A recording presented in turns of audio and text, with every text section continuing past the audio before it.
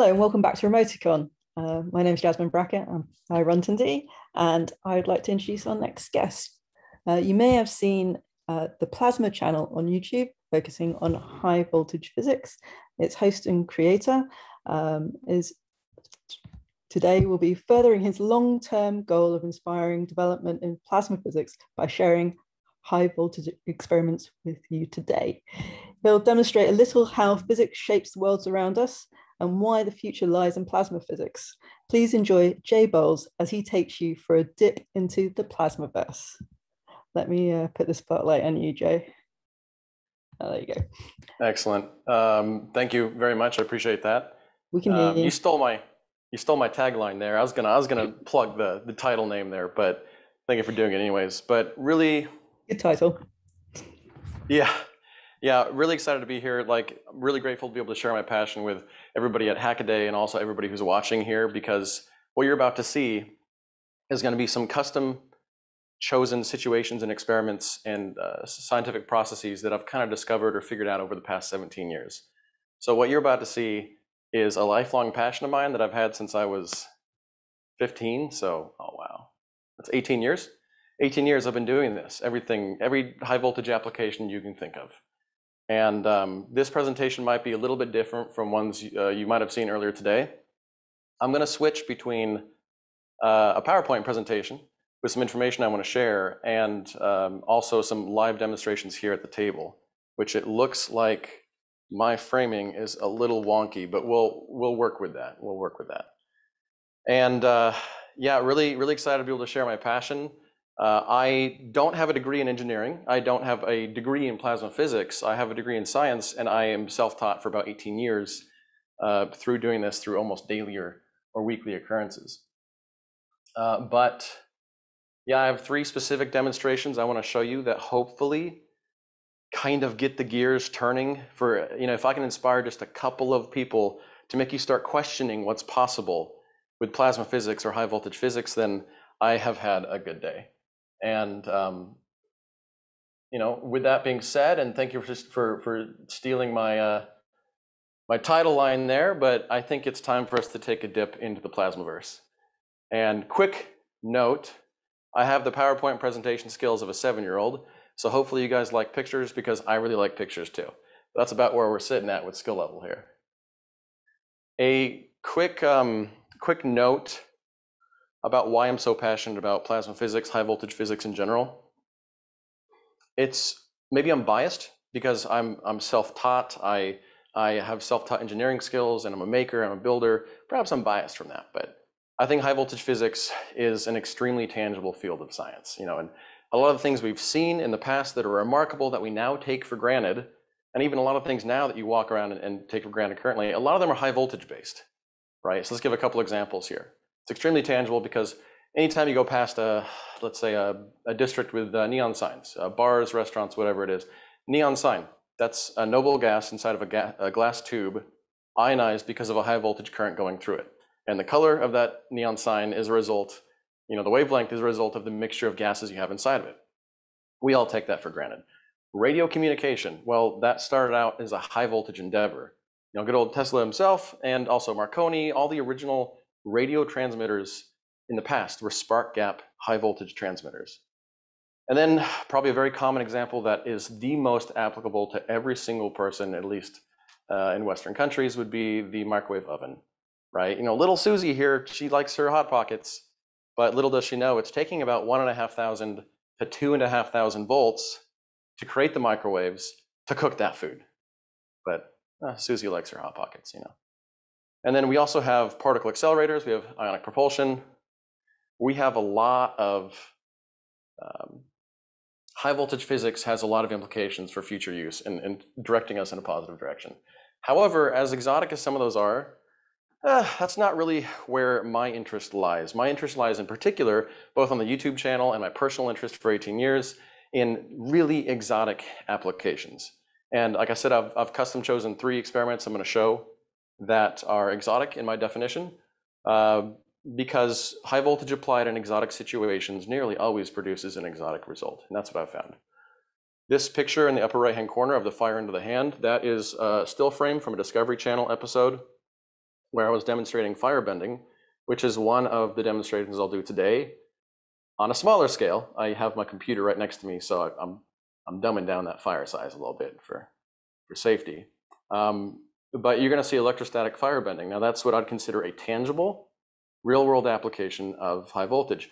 Also lower left-hand corner, as kind of the, the word suggests, cleansing ozone. Uh, last year I made a device that will sterilize your hands with about five to seven seconds, and it is a complete sterilization. Uh, obviously, you don't want to sterilize your hands all the time, every day. That's not a good, good thing to do, but every once in a blue moon, uh, having the opportunity to completely sterilize a surface using high voltage corona, which is the purple stuff you're seeing in that picture, um, has some big advantages. Now, the first demonstration that I am really excited to show, uh, it may work right away, it may not work right away. It's it's extremely organic. It'll decide, it'll work if it if it wants to. So hopefully in the first or second try, we'll get this electrostatic levitation going. But it allows me to teach a couple of concepts. First of all, high static voltage does not always equate to high lethality. Now, uh, what matters is leakage current or the actual current experienced across your body and you know a time constant. There's a bunch of variables. So a high static voltage does not automatically mean that uh, it's a lethal voltage. Uh, to charge myself up, which I'll be charging myself to about 60,000 volts for two of these experiments, I will be using what's called a Cockcroft-Walton voltage multiplier, which uh, you'll see when I zoom the camera back out here shortly to the table. I'll point it out. Uh, I custom build these devices. I build them myself so I know that they're safe, which is why I'm going to do this but it charges my body to 60,000 volts DC.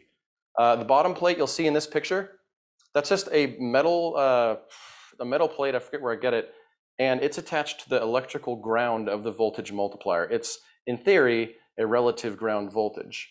And I will end up charging myself up to 60,000 volts, and energy is essentially going to flow between my hand to that ground plate, but the mechanism that causes the energy flow uh, is also the mechanism that causes a piece of um, foil to levitate. So I would like to start off with, oh, yeah, so sorry, framing is off by a little bit here, but uh, this is the voltage multiplier. I have a bunch right off screen that are about 10 times bigger, but I prefer not to kill myself right now. Uh, now this produces 60 kilovolts. The output is on the top, and it, a wire is connected from the top down to a uh, well-insulated stool on the ground. On top of the ground, I've put some aluminum foil. So I will end up actually standing on top of this when the power is on. So I'm isolated from ground and charged to about 60 kilovolts DC. And hopefully, you'll see a bit of levitation. This is the example of that foil boat. That shape is very particular.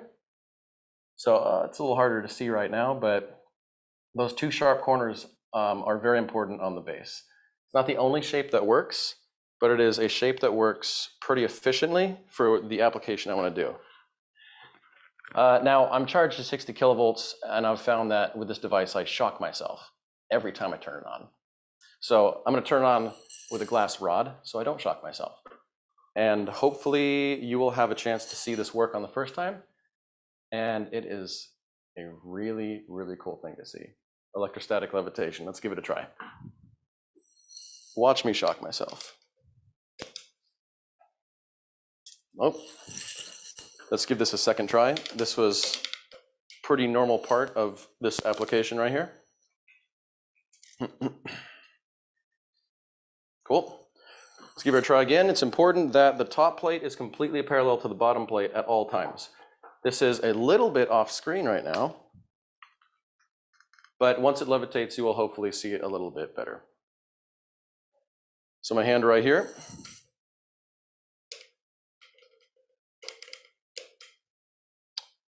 Oh, that is troublesome. It, uh, it actually decided to break right now. Let's, um, let's give this one a try. Hold on. There we go. There we go, a little bit temperamental. Glad this is working. Okay, so this is, you can actually see a little bit of it spinning underneath my hand. It's, it's levitating right underneath my hand, and it'll follow your hand even up and down a little bit to a certain extent. Now it's going to spin a little bit because that's its natural state of finding stability. It's a state called a quasi-stable equilibrium, and you can even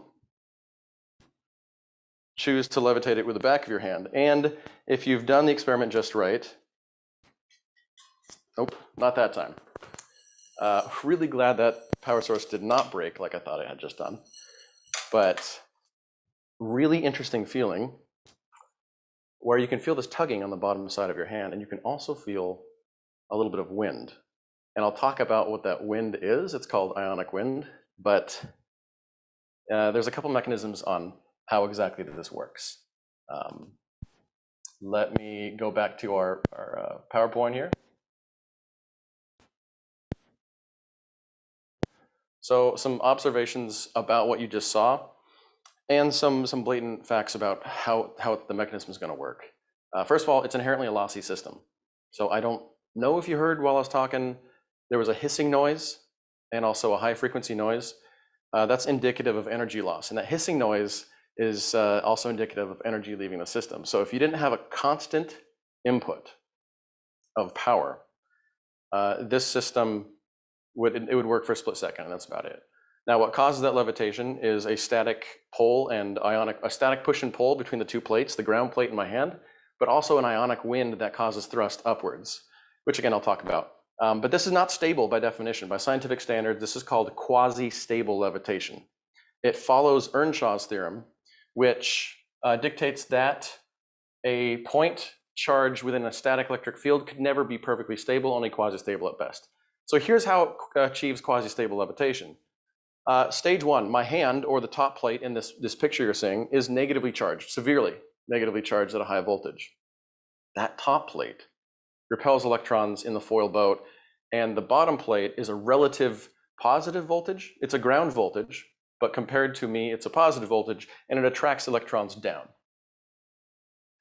Well, the second stage is the electrons naturally accumulate at sharp points on the base of the boat. This is a natural inherent property of uh, high voltage physics, of high voltage electricity, is sharp points accumulate electrons at a higher rate. And because of that, those points will have much stronger electric field gradients around the corners. Uh, that higher electric field gradient will uh, cause the air to become ionized and electrons will actually fly off of the corners. And it's interesting, it depends on your polarity, but I'm choosing to discuss the polarity where electrons fly off. But this creates ionic wind at the base. So as I mentioned, there's an electrostatic push and pull, but there's also this ionic wind thrust component. And how does it self-regulate? Why doesn't it just shoot up to the top? Or why doesn't it just shoot out to the side? Well, let's look at the too high scenario. Um, actually, when it gets too high to the upper plate, my hand, it is too far away from the bottom plate to have much of an influence on the relative positive charge of the base. And contrary to what you think, it actually also loses its charge too quickly when it gets too, um, too high up there. Let's look at the too low situation. Uh, there's not enough negative plate influence on it because it's too far from the top now. And actually the boat becomes net positive and tends to be repelled back up uh, towards that negative plate. So it's a, it's a push and pull that um, it self-regulates. And uh, that's how it achieves a quasi-stable levitation.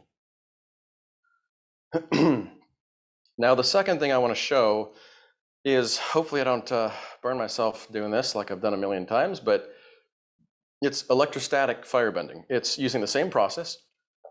I'll be standing on a uh, electrically insulated stool, same thing, powered by the voltage multiplier, 60 kilovolts. But a quick note about, about how I discovered uh, how I discovered this firebending. It, uh, I have much bigger voltage multipliers and I had a big one on and I had lit a candle and I walked past the voltage multiplier for, for whatever reason. I don't know why. And I noticed that the, the candle flame bent in exactly like this picture with my hand, but I didn't intend for it to happen. And I noticed, oh, that's strange. So I walked back towards the voltage multiplier and moved in closer and it pulled the flame off of the wick. And that's when I noticed something funky was happening that, okay, fire is easily influenced by an electrostatic charge because fire is an electrically conductive partial plasma. This is debatable in academia. Some sources will cite it as a plasma, some will sort it not, uh, cite it not as a plasma. So I consider it to be a partially uh, electrically conductive partial plasma. Um, those positive and neg negative ions inside of the fire is what allows it to be externally influenced. It's, it's super cool. Hopefully it works on camera here in a second. Again, body will be charged to about 60 kilovolts DC negative. The low camera angle right now will actually work in our favor for a second. But uh, again, I'll be charged 60 kilovolts DC. This plate is a ground, a relative positive voltage and the candle sits on the ground. Now, wax is a good insulator, but sitting on the ground plate, it does have a very relatively weak grounding connection. Oh, okay, the candle decided to show up. Excellent. That was about to be a very short demonstration. Um, now, I also wanted to do a larger demonstration, kind of like what you saw in that picture with it bending into my hand. Uh, I found that with so much equipment so close, it, uh, it posed a lot of inherent risk. So we're going to do a candle, and as long as I can demonstrate that you can influence this, this fire with charges, hopefully you'll walk away with a couple of gears turning in your head. So normal candle. Let's zoom in here. Normal candle, not influenced whatsoever. Sure, you could, you could blow it around, it's influenced that way. But it's not influenced otherwise. But the moment then the object next to it is electrostatically charged to a high voltage, aka my hand.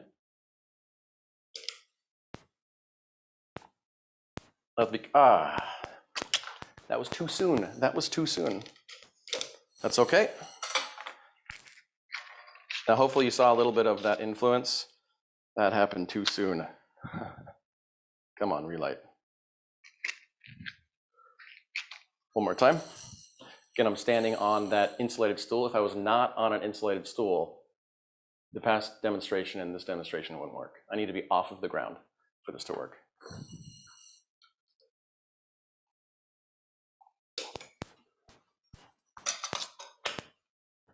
So you've got influence to the left side. Hopefully you see that a little bit. Hard to see on camera here, I'm seeing. To the right side, okay. We've got a we've got a candle flame that's not wanting to behave, but um, I have a video on this. You can get a much larger flame. The maximum size I've gotten is about six, actually eight to 10 inches.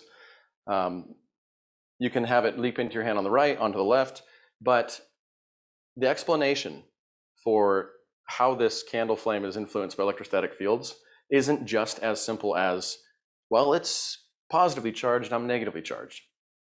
So it's attracted. It's actually much more complicated than that because I've found you can reverse it and be uh, high positive voltage with that being negatively charged and you have the exact same impact. So it's not inherently just because of the ions inside of the flame. Um, so let's talk a little bit about the observations and lessons. I wanted to get to this slide because Unfortunately, you didn't get a very good example of that firebending here on camera. It um, it's a little hard to see and it blew itself out twice, but you can get it looking like this on the base. It can actually split in half. So it's okay, it's not positive or negative charge based entirely. That's just one of the elements. But uh, this poses an inherent danger, of course. You are attracting fire to your body. Um, not necessarily the safest thing, but the attractive effect is scalable. And like I said, I've gotten about an 8 to 10 inch diameter bowl full of rubbing alcohol, lit it on fire, and it's actually able to bend towards your hands. So it's scalable up if you increase the voltage of the object next to the fire, aka your body. But what's really important to uh, take into account is, oh, uh, apologies. What's important to take into account is, well, can this be reversed? Can this effect be reversed? That's what the world would be uh, beneficial to have that's what I would love to know. Can the effect be repulsive? Because the implications of repelling fire are much safer than the implications of attracting fire. So results are inconclusive at this time. The closest thing we have is ionic wind, which the same exact thing I mentioned with the bottom of that foil boat. All it is is actual wind itself. So that's that's not electrostatic repulsion. That's just wind blowing fire away. But um, I mentioned it's more than just the static charges that have an impact. It's also because the flame path may be following the electric field lines present between your hand and the grounded plate that the candle is sitting on. Now, fire is, uh, in a lot of regards, so it's lighter than air.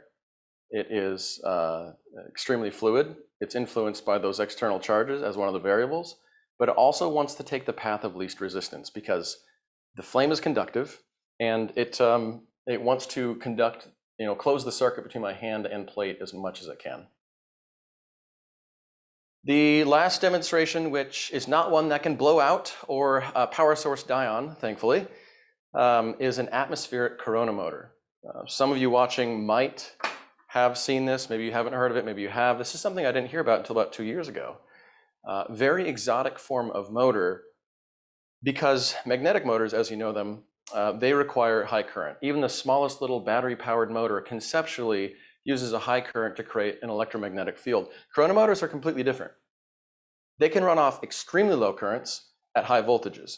And inherently, like a high static voltage, a high static charge, that inherently is uh, symbolic of stored energy. And the rotational movement of the rotor in the motor acts as the vector to transfer that charge.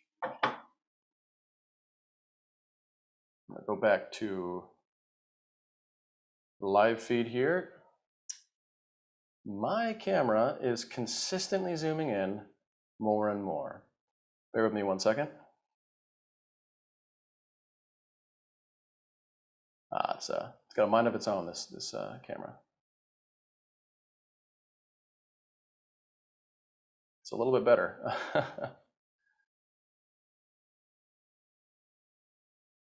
take a look.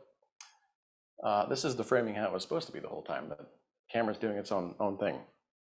So uh, this is the corona motor you saw a picture of, which I'll talk about more in detail and show you. Uh, there are no wires present except for the wires connecting up these support beams. There are six support beams, and on each support beam, there is a fin, a sharp fin, which you'll see in detail with some pictures here shortly. Uh, there are no magnets involved, and this can run off extremely low currents but at high voltages. And this is important. Why, why is a Corona motor different from other motors? Well, I've been doing this for 17 years. It is far more easy to generate a high voltage than it is to create a high current. And anybody in the modern world who's taken clothes out of a dryer right after they're done, you know exactly what I'm talking about.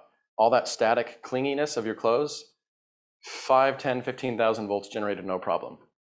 When you get out of your car to gas up your, your car too quickly and you rub against the seat, thousands of volts right there. It's easier to create a high static voltage than it is to create a high current. So you can actually use this in situations, um, which we'll talk about here shortly, which is really cool. Let me, doo -doo framing is killing me here. This is a, a small Wimshurst machine. It just creates about 10, 15,000 volts DC. It's safe to touch, just makes big gnarly sparks. It's really fun. It's a great power source for this. So fundamentally, this spins off of a. will uh, talk about it here shortly, positive and negative charges that are being transferred between the fins. Uh, there we go, taking a second to spin up. Longer than I would have liked, little motor. Um, the fastest I've gotten with this design is about 800 RPM. And Corona motors can be scaled up, built completely differently, but the fundamental principle of Corona motors, which you can, it's now blurring on camera, I don't think you can see the individual movements, is that they operate off of that, that high static voltage.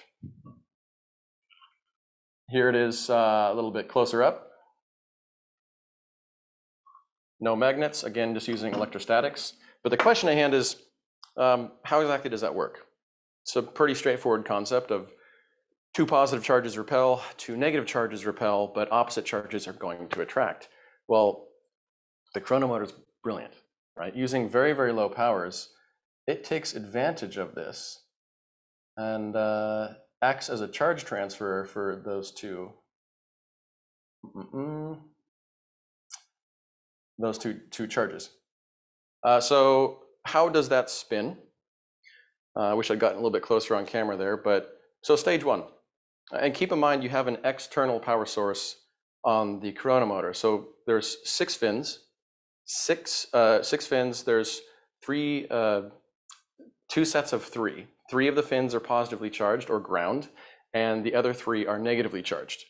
So this is a permanent situation. The fin charge does not, the charges on the fin does not change whatsoever.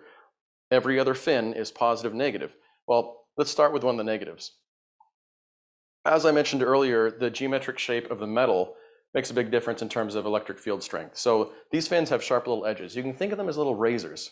Uh, because of the sharp edge and the high voltage they're under, the, they ionize the air directly underneath of them. This sprays electrons onto the nearest foil strip. That's important. That foil strip retains that negative charge. But the strip to the right is positively charged, and that rotor is free to move. So that foil strip will rotate over towards the positive strip, and you know, it'll be pulled and pushed uh, at the same time. Now, there's a charge transfer that happens as soon as that negatively charged strip on the rotor goes underneath one of the positive fins. The positive fin, again, keep in mind, it's a, it's a permanent positive charge because you have an external power source connected to it. Uh, it will strip the extra electrons off of that foil strip. It'll actually continue stripping more electrons until that foil strip is positively charged. Well, now we have the opposite result of the last situation. Before, it was negatively charged and repelling, uh, being repelled away from a fixed fin, and now it's positively charged, being repelled away from a positive fin. It then goes, uh, gets pushed away towards the next fin, which is now negatively charged. The cycle repeats, and it's completely cyc- cyclical. It is really, really cool, and um, the, like I said, the foil strips act as charge carriers. So you can think of it as they allow a high state of energy to flow down to a lower state of energy, which is the natural state of the universe. That's how things work. And it's completely analogous to a water wheel. I was thinking about this while I was trying to, you know, make these slides, and uh, it's actually really, really analogous to a water wheel. The gravitational potential energy at the top uh, here is there's more gravitational potential energy in the water, and when the water goes down to the ground, there is less gravitational potential energy um, present in it. And what is the side effect? Well, you capitalize on that change in potential energy and you create rotational motion. The exact same thing happens with the corona motor. You have uh, a high voltage that wants to go down to ground level, so to speak, and you take advantage of that energy differential and you create rotational motion out of it.